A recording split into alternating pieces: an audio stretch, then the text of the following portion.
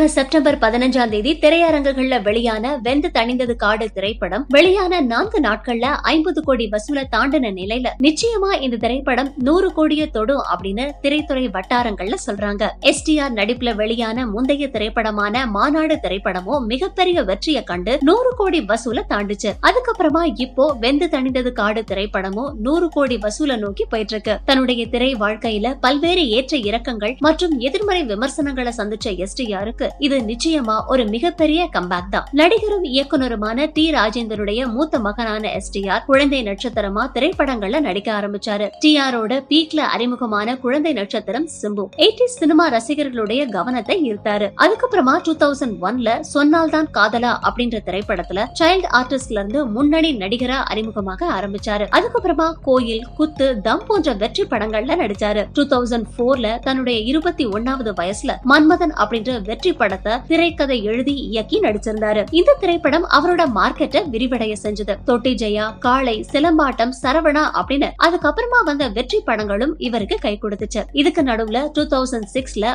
வல்லவன் அப்படின்ற திரைப்படத்திலையும் திரைக்கதை எழுதி இயக்கி நடிச்சிருந்தாரு. இந்த திரைப்படத்துல யுவனோட பாடல்கள் மிகப்பெரிய ஹிட் அடிக்க படமும் மிகப்பெரிய வெற்றியை பார்த்துச்சு. டூ தௌசண்ட் டென்ல தமிழ் சினிமா ரசிகர்களுடைய மிகவும் பிடித்தமான கூட்டணி அறிமுகமாச்சு. அதுதான் A R R GVM Simbu. Two thousand ten டென்ல மிகச்சிறந்த காதல் கதையை கொண்டு வெளிவந்தது விண்ணை தாண்டி வருவாயா திரைப்படம். சிம்புவோட இணைஞ்சு த்ரிஷாவும் நடிச்ச இந்த திரைப்படத்தை இப்ப வரைக்கும் தமிழ் சினிமா ரசிகர்கள் ஒரு காதல் காவியமா கொண்டாடிட்டு இருக்காங்க. ஆனா டூ தௌசண்ட் டென்னுக்கு அப்புறமா சிம்புவுக்கு சருக்கல் தான். எந்த ஒரு தமிழ் சினிமா நடிகரும் பார்க்காத சங்கடங்களை சிம்பு சந்திச்சாரு. வானம் ஒஸ்தி போடா போடி மாதிரியான படங்கள் வசூல்ல பிரகாசிக்கல. மேலும் சிம்பு மேல பலத்த விமர்சனங்களும் வீசப்பட்டுச்சு. படப்பிடிப்புக்கு ஒழுங்கா டைமுக்கு வரதில்ல கதையில தலையிடுறாரு ப்ரொடியூசரோட பணத்தை வீணடிக்கிறாரு மாதிரியான விமர்சனங்கள் அவருடைய திரை வாழ்க்கைக்கு முட்டுக்கட்டையா அமைஞ்சது. மேலும் சிம்புவோட பொது வாழ்க்கையில மிகப்பெரிய கரும்புள்ளையா அமைஞ்சதுதான். டூ தௌசண்ட் பிப்டீன்ல சிம்பு சந்திச்ச பீப் பாடலுடைய சர்ச்சை. இந்த இன்னல்களுக்கு மத்தியிலையும் டூ தௌசண்ட் சிக்ஸ்டீன்ல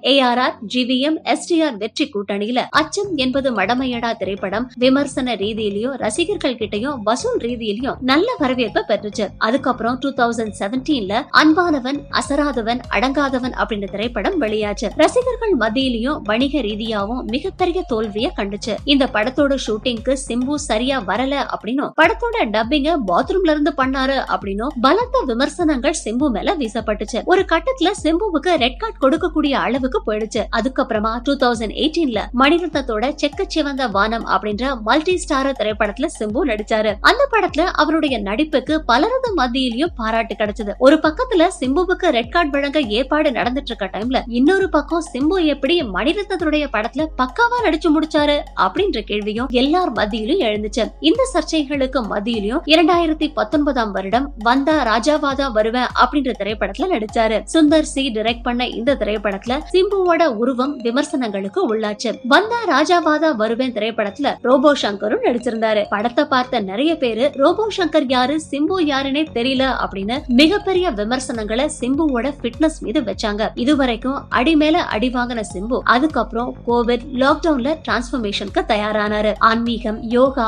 உடற்பயிற்சி அப்படின்னு தீவிரமா தன்னுடைய உடலையும் மனதையும் மாத்த ஆரம்பிச்சாரு. அதன் விளைவா நூறு கிலோல இருந்து எழுபது கிலோவுக்கு தன்னுடைய உடலை மாத்தினாரு. அவரோட டிரான்ஸ்பர்மேஷன் புகைப்படங்கள் அப்போ வெளியாகி வைரல் ஆனது அதை பார்த்த நிறைய பேரு எஸ்டிஆர் ஆபரேஷன் பண்ணிக்கிட்டு உடல் எடைய குறைச்சிருக்காரு அப்படின்னு சொன்னாங்க. அதுக்கு பதிலடியா Simbu the journey of Atman அப்படின்ற பதிமூணு நிமிட வீடியோவில் தான் எப்படி டிரான்ஸ்பர்மேஷன் செய்ய தன்னை உருக்கிக்கிட்டேன் அப்படிங்கறத சமூக வலைதளத்துல வெளியிட்டாரு சிம்பு. இத பார்த்த ரசிகர்கள் நிறைய பேரு சிம்புவை வெகுவாவே பாராட்டினாங்க. பாடிய ஃபிட்டா வச்சுக்கிட்டதுக்கு அப்புறமா சிம்பு ஷூட்டிங்க்கு எல்லாம் கரெக்டா வரமாட்டாரு அப்படின்ற விமர்சனத்திற்கு முற்றுப்புள்ளி வைக்க ஈஸ்வரன் அப்படின்ற திரைப்படத்தை வெறும் இருபது நாட்கள்ல முடிச்சு கொடுத்தாரு சிம்பு. அதுக்கப்புறமா சிம்புவோட திரை வாழ்க்கைய முற்றிலுமா மாற்றி போட்ட திரைப்படம் தான் மாநாடு. வெங்கட் பிரபு இயக்கத்துல இரண்டாயிரத்தி இருபத்தி ஒண்ணுல வெளிவந்த மாநாடு திரைப்படம் வசூல்ல சக்க போடு போட்டுச்சு. நூறு கோடி ரூபாயை தாண்டுச்சு. சிம்புவோட இந்த மாற்றத்தையும் மாநாடு கொடுத்த வெற்றியையும் பார்த்த சினிமா விமர்சகர்கள் சிம்பு ஒரிஜினல் கம்பேக் கொடுத்துட்டாரு அப்படின்னு பாராட்டினாங்க. இந்த நிலையில